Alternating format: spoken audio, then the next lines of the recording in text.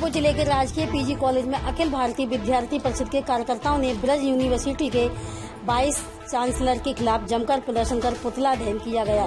करीब दो घंटे तक चले हंगामे के बाद कॉलेज प्रशासन ने विद्यार्थियों से समझाइश कर मामले को शांत कराया।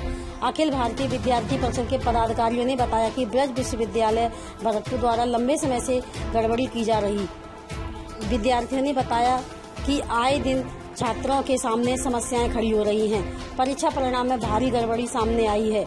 विद्यार्थियों ने बताया कि गत वर्ष जो परीक्षाएँ दी गई थी, उनकी अंक तालिका को जांचा नहीं गया था। अंक तालिका में अंदर आंसर लिखे हुए थे, लेकिन परीक्षक ने अंक तालिका के ऊपर ज़ीरो अंक अंकित किए हैं।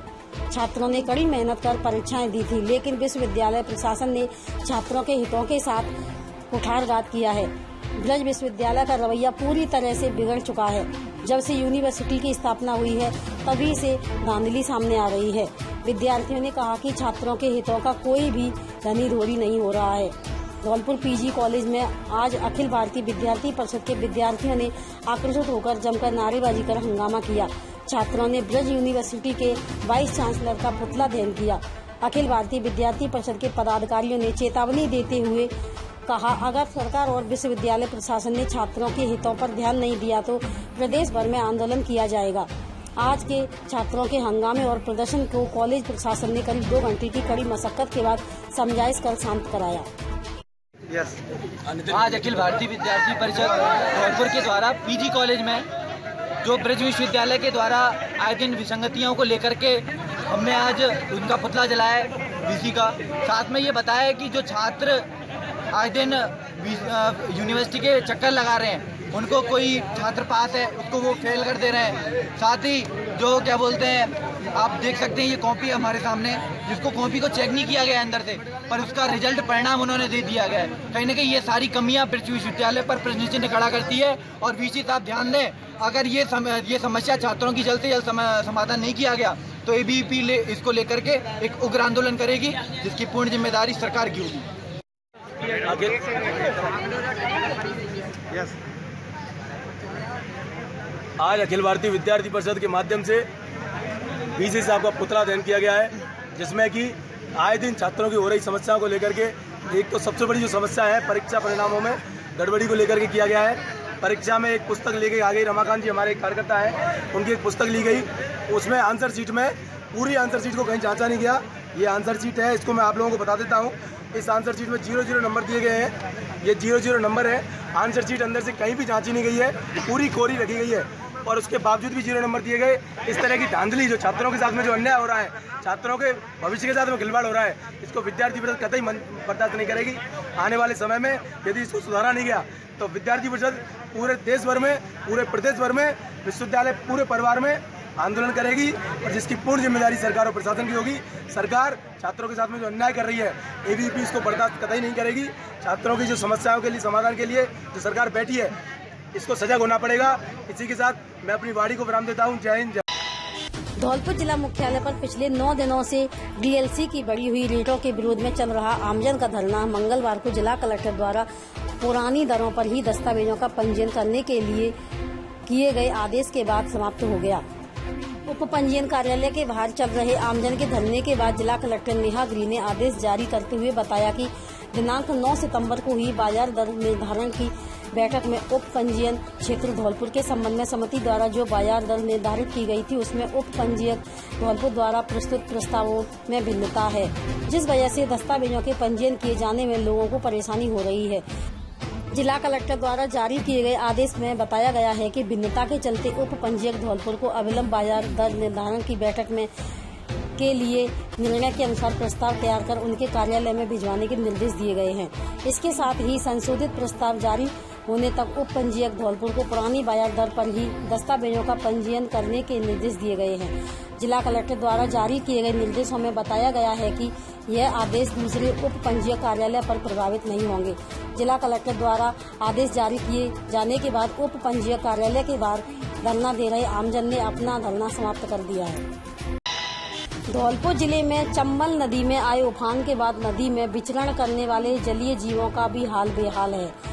गाँव में चंबल का पानी उतरने के बाद जलीय जीव गाँव में विचरण कर रहे हैं। आज मंगलवार को बसईडांग थाना इलाके के बरीपुरा गाँव में एक घर में एक मगरमच्छ घुस गया। मगरमच्छ के गाँव में घुस आने के बाद ग्रामीणों में हड़कंप मच गया और इसकी सूचना वन विभाग की टीम को दी गई। सूचना के बाद वन विभाग की रेस्क्यू टीम मौके पर पहुँची और कड़ी मशक्कत के बाद मगरमच्छ का रेस्क्यू किया गया और मगरमच्छ को गाँव से चम्मल नदी लेकर आए। जहाँ टीम में मौजूद वन कर्मियों ने मगरमच्छ को सकुशल राजघाट चम्बल नदी में छोड़ दिया। वहीं वन विभाग की टीम ने दो अन्य जगह रिको एरिया और हाउसिंग बोर्ड कॉलोनी में घर में से रेस्क्यू कर अजगर और दो मुहिम सांप के बच्चे को भी पकड़ा है।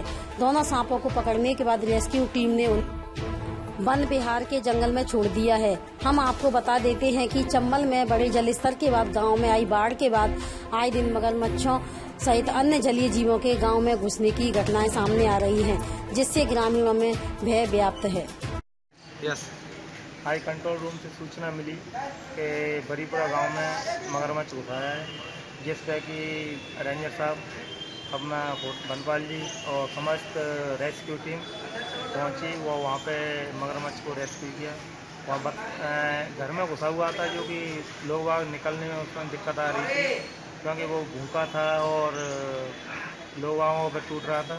तो उसको अच्छी तरह से रेस्क्यू कर राजघाट चंबल चंबल में उसको सुरक्षित रूप से छोड़ दिया गया और दूसरी सूचना एक रिको इंडस्ट्रीड एरिया में अजगर की मिली जिसमें जाके रेस्क्यू किया। तो उसमें छोटा बच्चा पाँच छः चार फुट का जिसको रेस्क्यू करके केसरबाग अभ्यारण्य में छोड़ दिया गया और हाउसिंग बोर्ड से सूचना मिली थी कि घर में सांप घुसा है.